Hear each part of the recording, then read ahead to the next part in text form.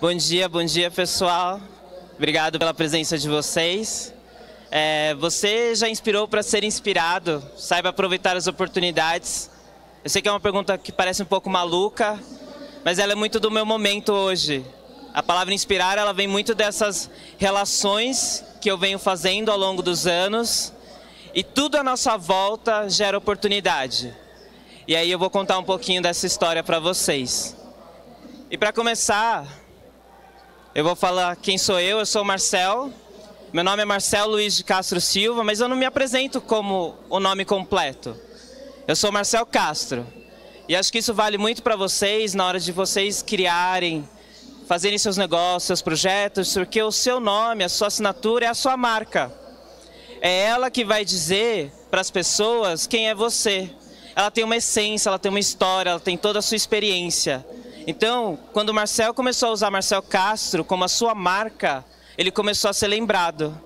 Ser lembrado para fazer uma palestra, projetos, trabalhos voluntários e assim foi evoluindo conforme ele foi usando a sua marca e foi criando essa credibilidade para ele. E aí Marcel tem 29 anos hoje, ele trabalha na organização da Campus Party. Eu faço toda a parte de marketing institucional do evento. É, sou um geek, sou um gamer, sou apaixonada por videogames. Eu falo que eu vejo mais animes do que séries. Essa é a realidade hoje. E Marcelo é formado em administração, tem especialização em pessoas. Sou um leitor ávido, isso começou nos últimos anos porque pessoas me inspiraram a ler. A média de livros hoje do Marcel é dois por mês. Antes era mais, mas com o trabalho isso vai diminuindo um pouco. E Marcel hoje está estudando teatro, recomendo para vocês. E agora eu vou contar um pouquinho então de como eu comecei a inspirar e como as pessoas no meu ciclo somaram para me inspirar. E aí eu vou falar de um assunto muito pessoal, mas que eu acredito que vale muito a pena que é falar sobre a doença de Crohn. Eu, Marcel, tenho doença de Crohn. Para quem não conhece, a doença de Crohn ela é uma doença crônica. Ela ainda não tem cura. E Marcel descobriu ela em 2005. E ela afeta todo o meu sistema digestivo. Então, Marcel tem uma série de restrições. E aí, o Marcel começou a viver com essa doença, tratamento, só que ele não entendia a sua condição. Ele foi vivendo muito no automático. Até que em 2013, Marcel teve uma crise muito forte e aí ele ficou debilitado muito fisicamente, mentalmente.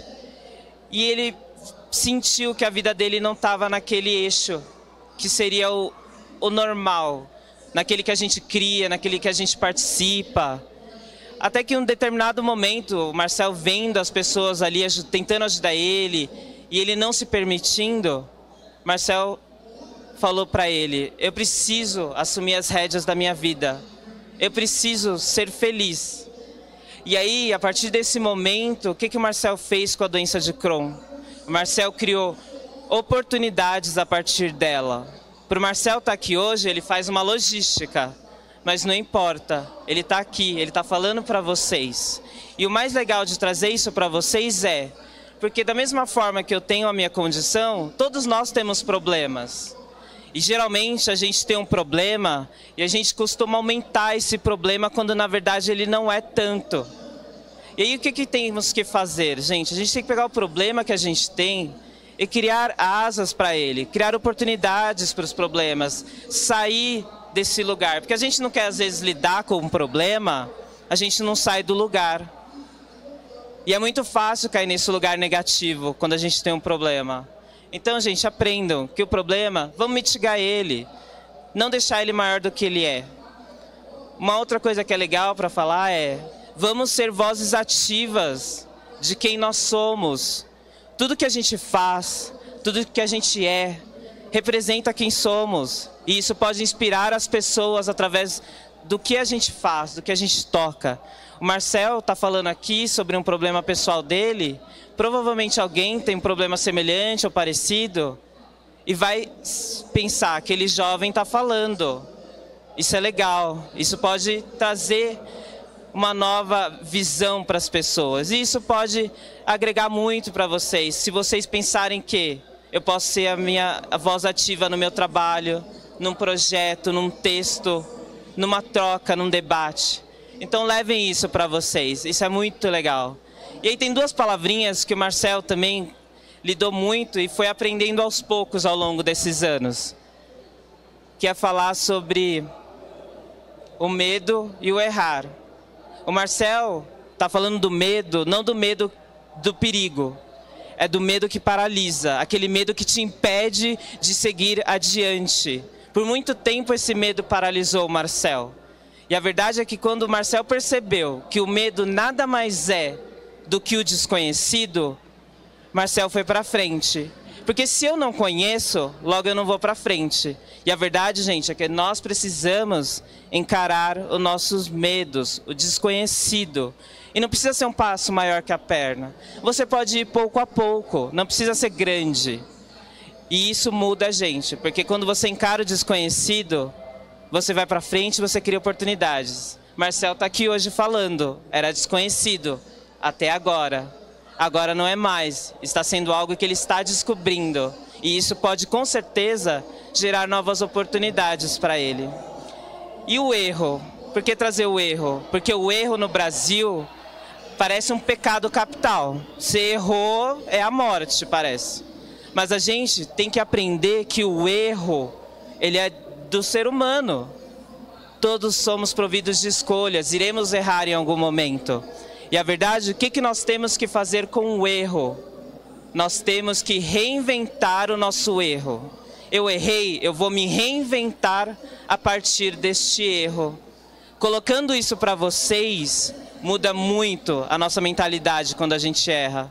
Porque a gente errou, reinventou, bora partir para a próxima. Se não estou sabendo lidar com o erro, pede ajuda. Porque as pessoas, elas vêm para somar. Quando a gente está trabalhando junto, criando, fazendo, tem sempre alguém disposto a ajudar. Essa é a verdade, gente. E aí, como que o Marcel começou esse processo de quebrar o medo, mudar esse, esse, esse modo de pensar? Foi quando ele começou a estudar, ele começou a estudar administração, começou a trabalhar. E aí lá em 2009 ele fez um estágio. E ele conheceu pessoas que falaram para ele que era possível realizar um sonho. E aí para realizar esse sonho em 2010, o Marcel entrou na Telefônica. Telefônica essa que comprou a Vivo, que comprou a GVT e que por muitos anos patrocinou a Campus Party. Marcel ficou quase seis anos na Telefônica. E aí falam que ah, é muito tempo, que não sei o quê. Mas não, gente. Se é muito tempo, tem que fazer valer a pena esse tempo. Eu fiquei quase seis anos numa telefônica, mas eu experimentei cada coisa que eu podia. Eu vivenciei a telefônica ao máximo. Então, coloquem para vocês, independente de tempo ou não, vocês estão vivendo ao máximo a experiência que vocês estão se propondo? por exemplo, estamos numa campus party. Legal, podemos ficar lá jogando, programando. Mas será que é só isso? Não, experimentem ao máximo tudo aquilo que vocês participam. E foi o que o Marcel fez na Telefônica. E aí Marcel juntou dinheiro, um ano juntando. E aí em 2011 ele fez o intercâmbio dele. E aí, gente, foi o começo da quebra, de sair um pouco da caixinha do Marcel. Porque ali ele foi posto à prova muitas vezes. Mas o que eu quero também falar é inglês, idioma. Ainda hoje perdemos oportunidades porque não sabemos falar inglês. Isso é um fato. É um fato. Temos que colocar que o inglês ele é poderoso. Ele leva você a conversar com pessoas do mundo todo muito mais que o mandarim, muito mais que o espanhol, qualquer idioma. O inglês ele é muito forte. Coloquem isso para vocês. E o idioma, o inglês, muitas pessoas talvez não tenham as mesmas condições que eu tive ao, ao ir para o Canadá. Mas existem cursos online gratuitos, temos vídeos no YouTube, aplicativos no celular que ajudam a ensinar inglês. Então, gente, coloquem para vocês, vamos atrás, estudem. Não é uma coisa que está fora do nosso cotidiano, a gente consegue. E aí tem uma coisa muito forte ao longo da telefônica que o Marcel conquistou e ele percebeu que para ele foi de muita inspiração, que foi quando ele foi e criou amizades. E amizades, pessoal, elas podem acontecer diretamente ou indiretamente. As amizades, elas podem sair do meu ciclo de profissional. Não é errado eu fazer amigos no trabalho. Porque, gente, passamos o maior tempo do, do, do, da nossa vida trabalhando, criando, e fazer amigos é rico, eles nos inspiram, eles nos ouvem, da mesma forma que eu também inspiro eles a partir do que eu faço. Tem um monte de amigos me vendo e provavelmente eles estão me vendo e eles vão se sentir cada vez mais inspirados e orgulhosos porque eu estou aqui falando de uma história, de uma experiência. Isso é rico. Vocês estão numa Campus Party, vocês podem fazer amigos a todo momento. Se permitam fazer amigos, se permitam. E aí, gente, telefônica, passei por várias áreas, fiz amigos, e aí teve uma área que mudou a minha vida, que foi a área de inovação. Na telefônica, eu fazia inovação aberta, fazia projetos com universidades, projetos na Campus Party, eventos em parcerias, universidades. Talvez eu poderia não ter ido para inovação, mas eu estava aberto, eu me permiti. Apesar de eu ser formado em administração, eu fui pensei, por que não me arriscar? Por que não conhecer outra área? E a verdade, gente, é que nós não precisamos ficar só numa caixinha fechado. A gente pode expandir o nosso leque de atuação. E foi isso que o Marcel fez. Ele se abriu, ele se permitiu e descobriu uma nova possibilidade de carreira. E isso vale para todos. Não se fechem para as oportunidades que aparecem, porque às vezes um leve sinal, uma leve relação leva você para novos patamares. E aqui no Marcel, na área de inovação, começou todo esse relacionamento que ele construiu e que fez ele chegar aqui hoje onde ele está, na Campus Party trabalhando na organização. E aí, muitas coisas foram acontecendo e teve uma coisa que tocou o Marcel muito forte, que foi o trabalho voluntário. Eu comecei fazendo trabalho voluntário na Telefônica, um projeto onde nós ajudamos jovens a desenvolver um aplicativo de turismo em Cabralha, em Salvador. Esse aplicativo foi lançado na Campus Party Recife e foi um sucesso. E o mais legal, gente, é que as, as crianças iam de regiões remotas para terem as aulas. E foi incrível o resultado. Eles fizeram um resultado tão melhor quanto alguns hackathons que eu já fiz, por exemplo. E aquilo tocou o Marcel, inspirou. E o Marcel saiu no final de 2015 da Telefônica. E ele falou para ele: Eu preciso fazer preciso levar isso adiante na minha vida pessoal. E aí o Marcel continuou fazendo trabalho voluntário. E como o Marcel fez o trabalho voluntário continuar? Através de um amigo. Um amigo chegou para ele, Marcel, tem um programa que eu conheço, é super sua cara. Vamos conhecer? Fui e conheci. Olha só, o meu amigo sendo uma oportunidade para mim, para eu levar inspirações para outras pessoas. Já fiz eventos para treinamentos de jovens, já fiz eventos para terceira idade. O último que eu fiz agora no Dia das Crianças foi levar uma instituição de caridade para assistir uma peça de teatro infantil. Gente, o sorriso, a entrega de ambos os lados não tem preço. E o trabalho voluntário, ele não é simplesmente um trabalho voluntário, ele ajuda a gente muito, porque ajuda você pessoal e profissionalmente. Porque o Marcel, no trabalho voluntário, ele escreve projetos, ele mexe com redes sociais, ele cria uma arte ou outra no Canva, no Pictochart. As possibilidades são muitas. E ele ainda faz o bem ajudando o próximo e ele faz o bem para ele mesmo. Porque ele está criando, ele está fazendo oportunidades a partir de um trabalho voluntário. E é, é legal, gente, falar sobre isso, porque você também faz amigos. Amigos também vêm nessa brincadeira. Amigos o tempo todo. Marcel, quando ele descobriu que ele podia fazer amizades no trabalho, no trabalho voluntário, nos eventos, o leque dele aumentou. Então, se permitam. E aí, gente, 2015 até o começo de 2017, Marcel não trabalhou. Período de crise, mercado, não estava fácil, mas Marcel ficou parado, ficou lá sentado, chorando as pitangas? Não Marcel foi à luta, Marcel foi aparecer. E aí, Marcel resolveu viver a experiência do networking, que era uma palavra até então para ele um conceito, mas aí ele viveu na pele. Como que Marcel fez o networking?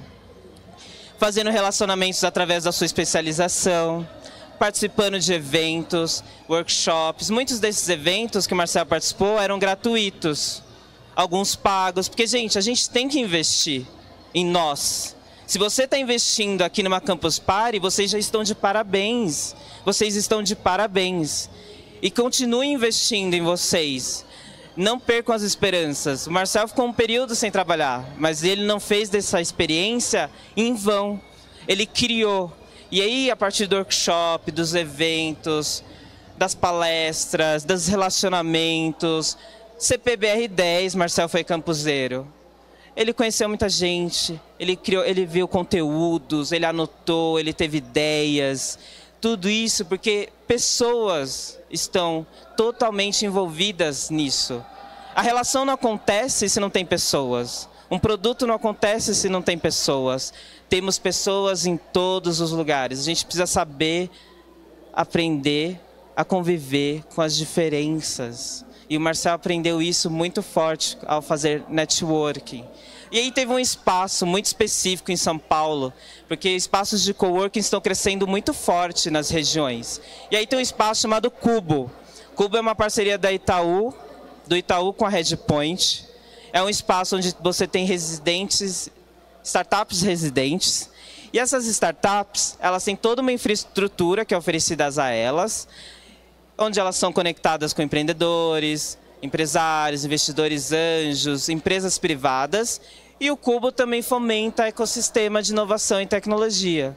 Marcel foi apresentado ao Cubo através de uma amiga dele, uma conexão. Ele está ativo no Cubo até hoje, porque ele acredita muito naquele espaço. Marcel já fez trabalho voluntários, eventos, coworkings. Por quê? Porque ele estava disponível, ele estava se permitindo. Façam isso. Se permitam, conheçam espaços de coworking. Porque eu vi que aqui em Belo Horizonte vocês têm espaços de coworking. Por que, que vocês não podem criar um evento no espaço em parceria? Não é um, um lugar longe. Vocês podem fazer acontecer. Criem, conversem, troquem, vão atrás. Comunidades, temos várias comunidades aqui, da própria região. Por que, que elas começaram? Porque elas queriam ser uma voz ativa, falar de um assunto específico. Isso pode ser levado para esses lugares. E aí teve um aplicativo, uma empresa que é daqui de Belo Horizonte, que o Cubo me apresentou e que eu usei muito nesse meu período de networking, que foi... Opa! Beer Coffee. Para quem não conhece Beer Coffee, instala no seu aplicativo. Ele é uma excelente ferramenta para você baixar e fazer networking, troca de conhecimento. E o Beer Coffee, ele dá direito para vocês conhecerem espaços de coworking, inclusive aqui em Belo Horizonte. Se vocês não têm, não percam a oportunidade, não percam. Marcel usou muito, já fez entrevistas, conheceu alguns espaços de coworking em São Paulo. E isso foi como? Uma pessoa me apresentou espaços no Cubo, que me levou a conhecer o aplicativo e que Marcel usou e está falando para vocês. Por quê? Porque é um ciclo. As coisas elas se conversam. E aí tem outra coisa que Marcel usou muito, que foi o LinkedIn. LinkedIn, gente, não é site de emprego. Tirem isso da cabeça de vocês. LinkedIn é uma rede social na qual vocês fazem relacionamentos profissionais, onde vocês podem fazer engajamentos, criação de conteúdo, onde vocês podem vender, mostrar os seus produtos e serviços nessa plataforma que é rica. Eu não uso 100%, ainda tenho que aprender muito, mas o que o Marcel já mudou ao utilizar o LinkedIn através de mudar a sua forma de apresentação, colocar seus projetos, escrever conteúdo, participar de fóruns de debate, isso já mostra que o Marcel está ali participando, que de alguma forma ele está sendo engajado com aquela comunidade, com aquele grupo. E de alguma forma as pessoas vão ser tocadas porque elas lembram. As pessoas lembram. Tudo que você fizer, as pessoas vão lembrar. Isso é fato. E isso é um ciclo. Isso é um ciclo. Isso é um ciclo o tempo todo. E a verdade é que a gente tem que cuidar da nossa marca o tempo todo para não cair naquele lugar, ah, não sei, não confio muito. Porque as pessoas lembram, gente, isso é fato. E aqui no LinkedIn começou uma coisa muito legal em 2016 com o Marcel, que foi a criação de conteúdo. Até então, Marcel gostava de redação. Ok, legal, bacana, mas só. Mas aí teve um evento no Cubo que o Marcel foi voluntário, ele participou, e que ele se sentiu inspirado. Ele falou: hum, eu preciso falar, eu preciso falar, eu preciso ser, falar desse evento. E aí o Marcel usou uma ferramenta do próprio LinkedIn que se chama Pulse. Gente, Pulse, LinkedIn de graça. Marcel não gasta um tostão para criar conteúdo. Um tostão crio artigos no Pulse do LinkedIn. Esse foi o meu primeiro. Eu já tenho 14 publicados de diversos temas. Já falei sobre cursos online, sobre trabalho voluntário, trabalho em equipe. Porque Marcel se sentiu bem a partir deste conteúdo, que foi um piloto. Ele não sabia o que ia dar, mas Marcel começou a explorar. Começou a explorar. E o legal, gente, é que as pessoas vêm falar com o Marcel e falam Marcel, eu precisava ter lido esse conteúdo antes. Tem pessoas que me mandam sugestões de temas. Ou seja, vocês também podem escrever conteúdos. Não precisa ser escritor. Eu não sou escritor. Eu escrevo daquilo que eu gosto, daquilo que eu sei, daquilo que eu conheço. E o meu alcance, talvez eu sei um pouco, mas pode ir além, porque ele vai muito além. Essa é a verdade, porque as pessoas compartilham, curtem, mas o mais legal é você levar as suas palavras, o seu conhecimento através da plataforma do LinkedIn, que é de graça. Ninguém falou para o Marcel, tem que pagar. Não. Eu hoje, até hoje, nunca paguei LinkedIn. Pode pagar? Pode. É um direito seu, tranquilo, é uma escolha. Mas eu não paguei. Uso ele de graça, escrevo nos meus, meus artigos gratuitamente e publico. Inclusive, eu publiquei um segunda-feira, já, já fui divulgando. Que eu falei sobre a descoberta das palavras, porque faz exatamente um ano que Marcel começou a criar conteúdo. Não faz muito tempo. E está sendo uma reinvenção do quem é o Marcel, e de como ele percebe as pessoas, e de como é um contato com essas pessoas. Porque através das palavras, através de um trabalho, através de, um, de uma conversa, através de um abraço, pequenos gestos, a gente pode inspirar as pessoas para criar e motivarem elas a se sentirem melhor. Essa é a verdade. Mas aí vocês pensam, Marcel parou por aí? Não, Marcel não parou por aí. Marcel acho que estava com, com sede, com sede de criar conteúdo. E aí surgiu na vida dele o comprei um unicórnio. Um amigo meu é youtuber. Ele tem um site chamado Comprei Unicórnio, que é do canal dele. E aí Marcel pensou, estou escrevendo no LinkedIn, por que não tentar? Aí Marcel foi lá e falou, posso escrever para o seu site? Meu amigo falou sim. Por que, que eu estou falando isso? Gente, o não a gente sempre vai ter. Isso é fato. O sim é mais difícil. Mas se a gente também não se arriscar e tentar achar o sim, a gente também não vai sair do lugar. E aí Marcel começou a escrever aqui sobre cinema, animes, videogames. Mas tem uma coisa aqui que é muito legal desse conteúdo que eu crio, que são as resenhas de livro. Gosto de ler livros, porque duas amigas minhas me inspiraram a ler livro. Porque elas liam tanto que eu falei, eu estou fazendo alguma coisa errada. Porque eu não estou lendo.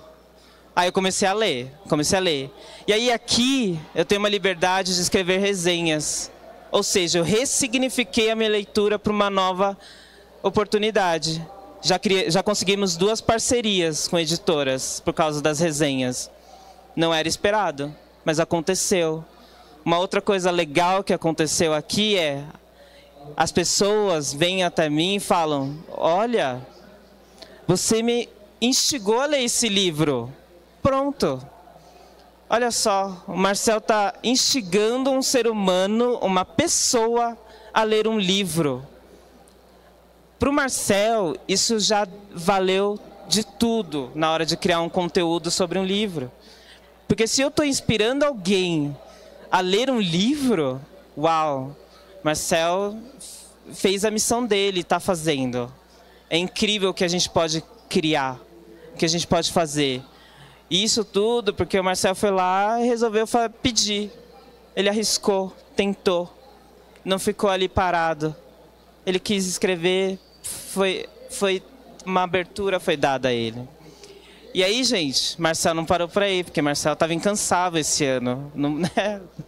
E aí, dois amigos que ele conheceu através do voluntário chegaram para ele e falaram: Marcel, eu quero. A gente está aqui, a gente quer falar sobre diversidade. Aí eu falei: legal, diversidade? Vamos falar?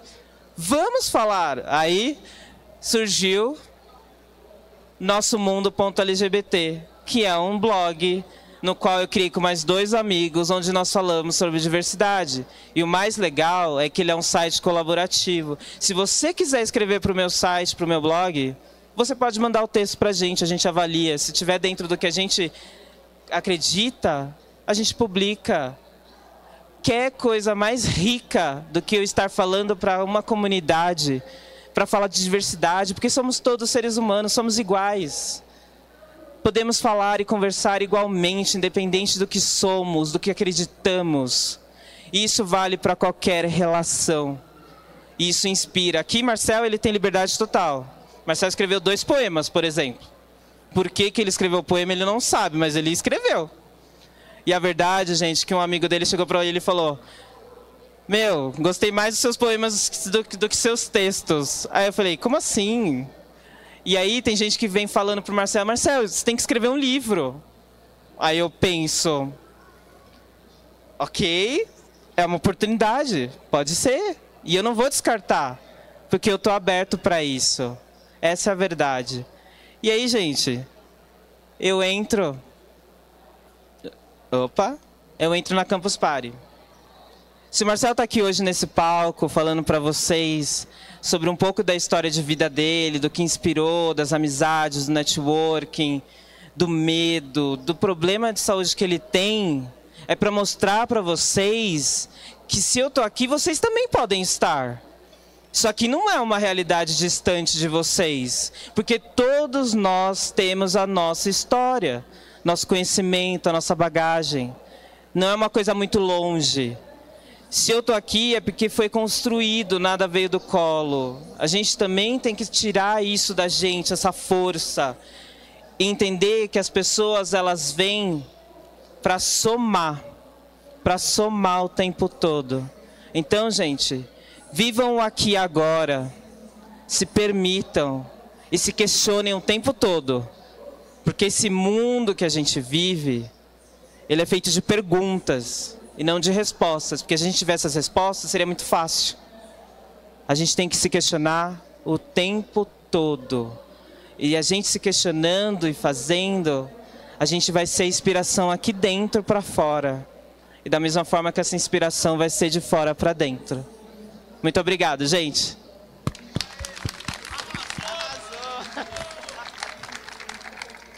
Obrigado, gente.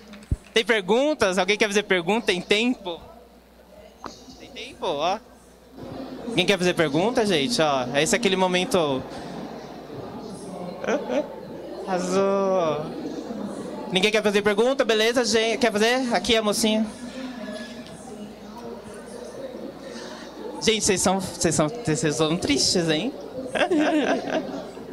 Prazer, meu nome é Milene. Tudo bom, Milene? Tudo jóia. É, eu sou uma pessoa que muito transita uhum. e muito busca de formação e atuação, maior parte da minha vida foi negócios internacionais. Eu entrei na parte de coach e agora eu estou numa busca desde janeiro e uma coisa que gritou muito no meu coração também na CP10 foi atuar com propósito. Legal, legal. E aí muita coisa que você trouxe na sua palestra, por exemplo, coisas que te moveram, que Sim. foi o trabalho voluntário e etc.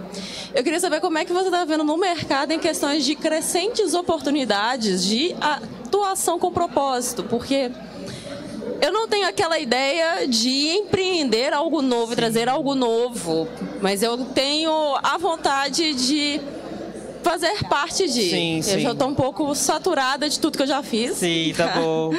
E eu queria saber de você, o que que é, é que, que, se você indica para mim? Sim, claro. Quero gritar pro mundo tudo que eu já fiz sim, sim. E, e que eu tô buscando, porque eu, sabe aquela questão assim, você fica um pouco perdido, sabe? Sim, acontece. Eu, a gente passa por isso. Eu acho assim, você já está numa Campus Party, por exemplo.